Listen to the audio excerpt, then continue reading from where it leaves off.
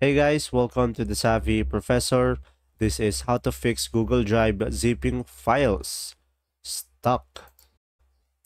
So guys, in order for you to fix that, the first solution is try restarting your computer. Just click over here and try restarting it.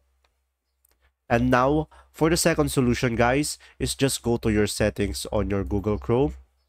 And then from here, just click on the three dots over here at the top right and then go to the settings. And then from here, just use the search bar at the top and search for clear. And now click on clear browsing data.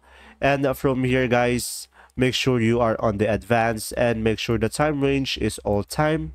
And then from here, make sure to check all of these boxes. And uh, make sure to clear data. And guys, for the third solution, if the issue are still showing, what you could try to do is try using a different web browser. So you can try Mozilla Firefox or a Chrome. And then from there guys, you should be able to fix your issue. And there you go. If this video was helpful, please like and subscribe and thanks for watching. See ya!